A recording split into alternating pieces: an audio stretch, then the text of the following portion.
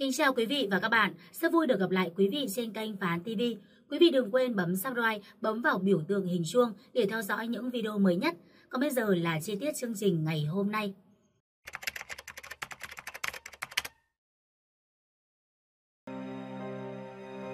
Ngày 27 tháng 6, Tòa án Nhân dân tỉnh Đồng Nai tuyên phạt bị cáo Nguyễn Duy Linh, cựu thượng úy công an xã Phú Tân, huyện Định Quán, 18 năm tù về tội hiếp dâm người dưới 16 tuổi và 3 năm tù về tội dâm ô. Tổng hợp hình phạt là 21 năm tù. Theo cáo trạng, đầu tháng 3 năm 2022, cháu HN, 15 tuổi, VA, 14 tuổi và cháu HB, 13 tuổi, đều cư trú tại xã Phú Tân, đến công an xã Phú Tân để trình báo về việc bị một tài khoản Facebook đe dọa tung các hình ảnh, video nhạy cảm lên mạng xã hội. Sau khi được phân công giải quyết vụ việc, Linh nhiều lần gặp các cháu gái rồi dụ dỗ hiếp dâm và dâm ô nhiều lần tại trụ sở công an xã Phú Tân và một số nhà nghỉ trên địa bàn huyện Định Quán, huyện Tân Phú, Đồng Nai. Cụ thể, từ tháng 3 đến tháng 5 năm 2022, Linh đã 6 lần gọi các cháu đến trụ sở công an xã rồi đưa vào phòng ngủ phía sau phòng làm việc. Tại đây Linh đã yêu cầu các cháu cởi quần áo rồi thực hiện hành vi hiếp dâm và dâm ô. Cũng trong thời gian này, Linh còn 4 lần gọi điện cho ba cháu gái rồi trở đến những nhà nghỉ trên địa bàn huyện Định Quán, huyện Tân Phú thực hiện hành vi đổi bại. Đặc biệt trong đó có lần Linh thực hiện hành vi hiếp dâm, dâm ô với hai cháu gái cùng lúc, có lần còn dùng điện thoại quay clip. Đến ngày 15 tháng 5 năm 2022, sau khi phát hiện sự việc các bé gái bị xâm hại tình dục, người thân của những nạn nhân đã trình báo sự việc cho cơ quan cảnh sát điều tra công an huyện Định Quán. Một ngày sau, Nguyễn Duy Linh đến cơ quan cảnh sát điều tra công an tỉnh Đồng Nai đầu thú và khai nhận toàn bộ hành vi phạm tội của mình. Cáo trạng Viện Kiểm sát Nhân dân tỉnh Đồng Nai cáo buộc Linh đã 3 lần dâm ô đối với cháu HN, 5 lần hiếp dâm cháu VA và 4 lần hiếp dâm cháu HB. Về dân sự, gia đình Nguyễn Duy Linh đã bồi thường cho mỗi gia đình bị hại là 20 triệu đồng. Đại diện hợp pháp của ba cháu không yêu cầu gì khác và làm đơn xin giảm nhẹ hình phạt cho Linh. Tòa án Nhân dân tỉnh Đồng Nai tuyên phạt bị cáo Nguyễn Duy Linh, cựu thượng úy công an xã Phú Tân, huyện Định Quán, 18 năm tù về tội hiếp dâm người dưới 16 tuổi và 3 năm tù về tội dâm ô. Tổng hợp hình phạt là 21 năm tù.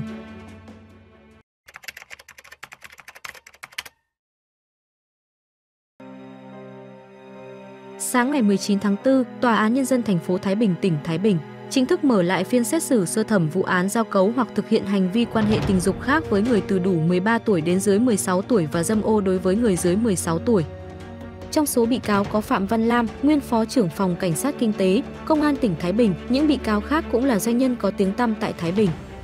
Nạn nhân tên TM, tại thời điểm bị xâm hại tập thể mới 14 tuổi, đang học lớp 8 tại một trường có tiếng trên địa bàn thành phố Thái Bình. Vụ việc khiến dư luận và người dân phẫn nộ, từ sáng sớm, hàng trăm người dân và người nhà, người thân các bị cáo đã có mặt tại khu vực trụ sở Tòa án Nhân dân thành phố Thái Bình, số 6 đến 8 Hai Bà Trưng, phường Lê Hồng Phong, thành phố Thái Bình. Nhiều phóng viên cũng có mặt tại đây, tuy nhiên do bị hại là người dưới 18 tuổi bị xâm hại, nên Tòa án Nhân dân thành phố Thái Bình đã thông báo chỉ những người có giấy báo, giấy triệu tập của hội đồng xét xử mới được vào khu vực xử án. Khoảng 7 giờ, các xe đặc trùng chở các bị cáo đến tòa lực lượng công an có mặt bảo vệ phiên tòa rất đông và kiểm soát chặt những người ra vào tòa. Trước đó, khoảng đầu tháng 9 năm 2018, Công an thành phố Thái Bình nhận được đơn trình báo của gia đình nữ sinh TM, học sinh lớp 8 trường trung học cơ sở LTV, thành phố Thái Bình, về việc nữ sinh này theo bạn đi chơi nhiều ngày không về, điện thoại không liên lạc được. Trong khi cơ quan chức năng và gia đình đang tổ chức tìm kiếm, nữ sinh này bất ngờ về nhà trong tình trạng sức khỏe suy yếu, có biểu hiện bất thường về tâm sinh lý và cho biết em bị một nhóm đàn ông xâm hại tập thể tại khách sạn trên đường Trần Nhân Tông, thành phố Thái Bình. Căn cứ tài liệu, chứng cứ thu thập được, ngày 11 tháng 9 năm 2018, cơ quan cảnh sát điều tra công an thành phố Thái Bình khởi tố vụ án hình sự. Giao cấu hoặc thực hiện hành vi quan hệ tình dục khác với người từ đủ 13 tuổi đến dưới 16 tuổi và dâm ô đối với người dưới 16 tuổi đồng thời ra quyết định khởi tố bị can, lệnh tạm giam đối với Phạm Như Hiển, tên gọi khác Phạm Như Kiểm, 44 tuổi, chú khu đô thị Kỳ Bá, thành phố Thái Bình, về tội giao cấu hoặc thực hiện hành vi quan hệ tình dục khác với người từ đủ 13 tuổi đến dưới 16 tuổi. Phạm Đức Việt, 48 tuổi, chú phường Quang Trung, thành phố Thái Bình, về tội dâm ô đối với người dưới 16 tuổi.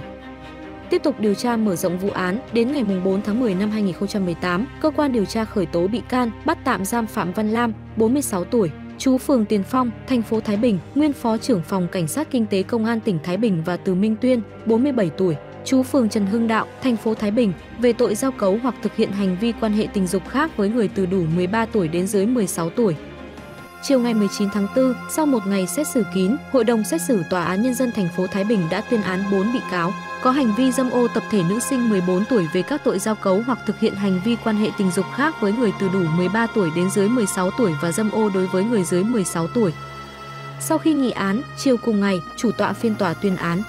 Theo đó, bị cáo Phạm Như Hiển, tên khác là Phạm Như Kiểm, bị truy tố về tội giao cấu hoặc thực hiện hành vi quan hệ tình dục khác với người từ đủ 13 tuổi đến dưới 16 tuổi và bị tuyên phạt 5 năm tù kể từ ngày bị bắt ngày 11 tháng 9 năm 2018. Bị cáo Phạm Đức Việt, 48 tuổi, phường Quang Trung, thành phố Thái Bình, bị truy tố về tội giao cấu với người từ đủ 13 tuổi đến dưới 16 tuổi và bị tuyên phạt 2 năm 6 tháng tù kể từ ngày bị bắt ngày 11 tháng 9 năm 2018. Bị cáo Phạm Văn Lam, 46 tuổi, tổ 22, phường Tiền Phong, thành phố Thái Bình, tỉnh Thái Bình, cựu thượng tá, phó phòng cảnh sát kinh tế, Công an tỉnh Thái Bình bị truy tố về tội giao cấu với người từ đủ 13 tuổi đến dưới 16 tuổi và bị tuyên phạt 3 năm tù kể từ ngày bị bắt ngày 4 tháng 10 năm 2018. Bị cáo Từ Minh Tuyên, 47 tuổi, phường Trần Hưng Đạo, thành phố Thái Bình, tỉnh Thái Bình bị truy tố về tội giao cấu với người từ đủ 13 tuổi đến dưới 16 tuổi và bị tuyên phạt 2 năm tù kể từ ngày bị bắt ngày 4 tháng 10 năm 2018. Ngoài ra, cả 4 bị cáo phải bồi thường cho bị hại số tiền 70 triệu đồng. Trước khi hội đồng xét xử tuyên án, lực lượng cảnh sát ngăn không để người dân và phóng viên sử dụng mọi thiết bị quay phim, chụp hình và không cho tiếp cận hội đồng xét xử. Trong vụ án này, hội đồng xét xử nhận định bị cáo Phạm Như Hiển có vai trò chủ đạo, dẫn đầu nên đưa ra mức án nặng nhất đối với Hiển.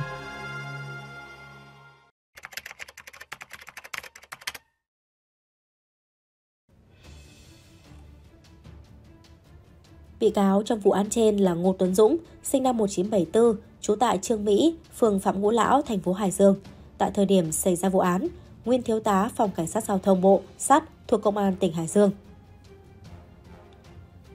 Cụ thể, theo thông tin vụ án, vào trưa ngày 29 tháng 8 năm 2012, đang đi hát karaoke cùng bạn ở nhà hàng Long Hải ở thị trấn Mạo Khê, huyện Đông Triều, tỉnh Quảng Ninh. Thể Dũng lúc này đang là thiếu tá cảnh sát giao thông thuộc công an tỉnh Hải Dương đã điện thoại cho chị Luyến mời đến hát nhưng nữ doanh nhân này từ chối.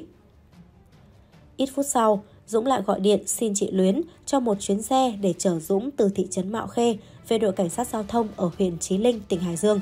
Chị Luyến đã đồng ý và đi xe ô tô Toyota Fortuner biển kiểm soát 34M2858 từ Kim Tân, huyện Kinh Môn đến nhà hàng Long Hải.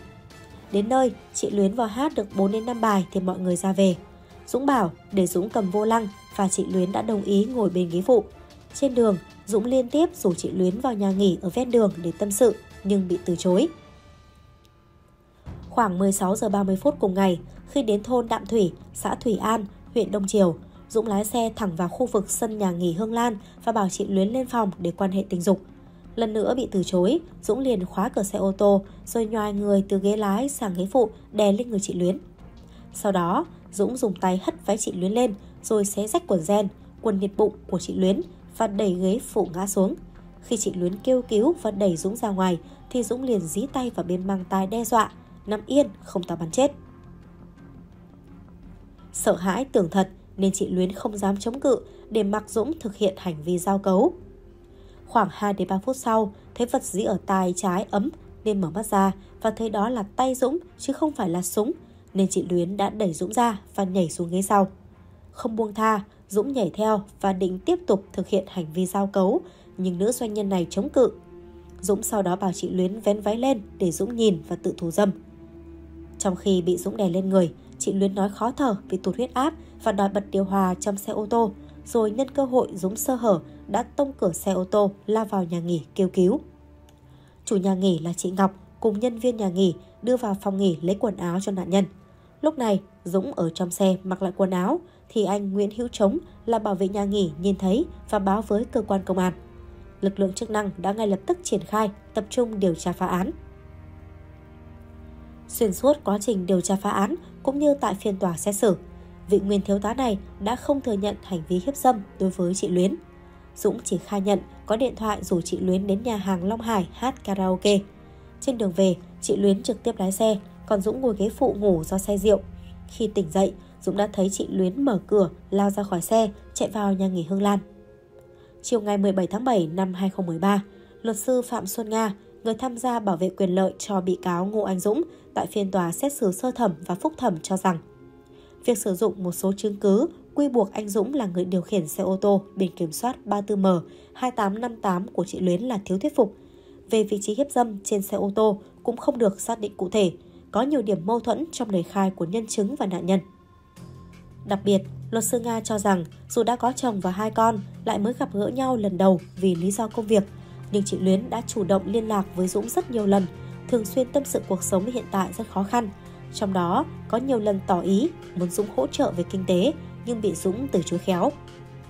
Tại phiên tòa xét xử sơ thẩm, luật sư Nga cũng đề nghị hội đồng xét xử trả hồ sơ cho cơ quan cảnh sát điều tra để điều tra lại những nội dung còn nhiều điểm mâu thuẫn của vụ án, đồng thời tiến hành thực nghiệm lại điều tra. Nhận thấy còn nhiều điểm nghi vấn và chưa thống nhất trong quá trình xảy ra vụ án, nên yêu cầu của luật sư không được hội đồng xét xử đồng ý, đồng thời đưa các nhân chứng của vụ án lên để đối chất. Phần lời khai của các nhân chứng càng khẳng định rõ hơn việc Dũng đã có hành vi cưỡng hiếp nạn nhân. Nhân viên dọn phòng nhà nghỉ Hương Lan cho biết chị đi đổ rác và thấy xe đậu ở sân. Đổ rác xong quay về, chị đi sát xe nên thấy ở gàng ghế sau có người đàn ông mình trần đang cúi sấp người.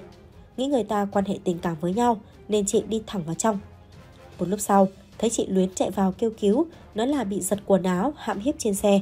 Nhân viên này lấy đồ cho chị Luyến mượn nhưng không vừa, phải đưa cho nạn nhân mượn quần áo chống nắng quấn quanh váy. Một nhân chứng khác, ông Nguyễn Hữu Trống là bảo vệ nhà nghỉ, khai thấy chiếc ô tô 7 chỗ chạy vào, đỗ trong sân nhà nghỉ nhưng không có ai bước xuống. Chừng 30 phút sau, nhân viên nhà nghỉ thấy cửa xe bật mở. Chị Luyến váy áo sộc sạch chạy ra khỏi xe kêu cứu rồi chạy vào trong quầy lễ tân mượn quần áo lót mặc. Bảo vệ đến cạnh chiếc xe, thấy Dũng ở trần, đang kéo chiếc quần lót từ đầu gối lên. Thấy tôi tới, anh ta hỏi, sao mất lịch sự thế? Sau khi mặc quần áo vào, anh ta xuống xe quát tháo tôi, bảo vệ nhà nghỉ nói. Nhiều nhân viên khác của nhà nghỉ Hương Lan còn cho biết, sau khi chị Luyến hớt hải chạy vào ít lâu, Dũng còn chạy theo nói với vào rất chơi chẽn. Luyến ơi, bỏ qua cho Dũng nhé. Đàn ông, ai không có lúc này lúc kia. Dù Dũng một mực chối tội, nhưng căn cứ vào các lời khai của bị hại, nhân chứng, hội đồng xét xử khẳng định Ngô Tuấn Dũng phạm tội hiếp dâm và tuyên phạt hắn 2 năm tù giam. Án đã được tuyên, nạn nhân Luyến như cởi bỏ được nhiều gánh nặng. Dù bản án, theo nhiều người, là quá nhẹ so với hành vi của Dũng, nhưng cũng đã giúp chị giành lại được sự công bằng sau thời gian dài đuổi bắt công lý, có lúc tưởng chừng đuối sức. Thậm chí trước đây, có người còn hồ nghi chị vu khống. Không ai tin, suýt nữa chị đã bị Dũng làm nhục ngay trên xe ô tô của mình.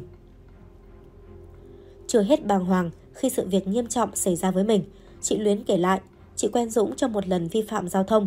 Hai người chỉ nói chuyện với nhau qua điện thoại vài lần. Lần gặp Dũng vào ngày xảy ra sự việc là lần thứ hai. Chị Luyến khẳng định hai người chưa từng ngồi với nhau hay đi uống nước với nhau bất kỳ lần nào. Tôi quen anh ta là vì một lần tôi vi phạm giao thông. Mối quan hệ giữa chúng tôi chỉ là quan hệ xã giao ngoài xã hội. Cả hai chúng tôi chưa từng ngồi nói chuyện với nhau hay là đi uống nước với nhau bất cứ lần nào. Tính cả lần đầu gặp vì vi phạm giao thông thì đây là lần thứ hai mà chúng tôi gặp nhau. Chị Luyến cho hay, suốt gần 2 tháng xảy ra vụ án, chị rất căng thẳng không làm được việc gì. Bây giờ thì phải cố gắng gượng dậy, còn làm việc để anh em công nhân có lương. Sau khi sự việc xảy ra, mặc dù ngay tại nhà nghỉ LH, Dũng đã xin lỗi chị và nói nếu không bỏ qua thì sẽ mất một người bạn. Nhưng chị Luyến cho hay, chị không thể chấp nhận được hành động ấy của Dũng. Chị không thể có người bạn nào lại đôi bại như vậy được. Về phía gia đình chị Luyến, khuyên chị đã bỏ qua cho Dũng, nhưng vì áp lực, vì quá tủi hổ nên chị không thể bỏ qua chuyện này.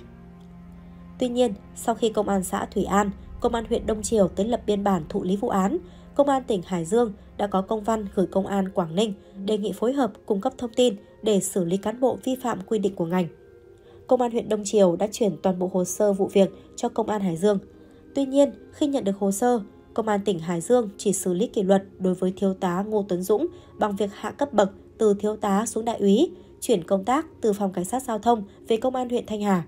Lý do là thiếu tá Dũng đã vi phạm chế độ công tác, vi phạm kỷ luật, vi phạm đạo đức, phẩm chất cán bộ công an. Cụ thể, thiếu tá Dũng đã bỏ nơi làm việc, uống rượu trong thời gian làm việc, có hành vi chửi bới nhân viên bảo vệ nhà nghỉ, công an xã, công an huyện Đông Triều. Sau nhiều tháng trì hoãn vì hồ sơ chạy long vòng, cuối cùng ngày 23 tháng 10 năm 2012, Sau khi nhận được đơn tố cáo trực tiếp của chị Luyến, Công an tỉnh Quảng Ninh đã quyết định khởi tố vụ án và ngay lập tức lấy lời khai của chị để điều tra. Đến ngày 11 tháng 12 năm 2012, Ngô Tuấn Dũng bị khởi tố, bị bắt giam về hành vi hiếp dâm. Cùng ngày đó, Công an Hải Dương ra quyết định tước quân tịch đối với Dũng. Đến nay thì Dũng đã phải trả giá cho hành vi đê hèn của mình. Đến đây thời lượng của chương trình cũng đã kết thúc. Quý vị đừng quên bấm subscribe để xem những video mới nhất của Phán TV. Cảm ơn quý vị đã quan tâm theo dõi. Xin kính chào và hẹn gặp lại quý vị trong các video tiếp theo.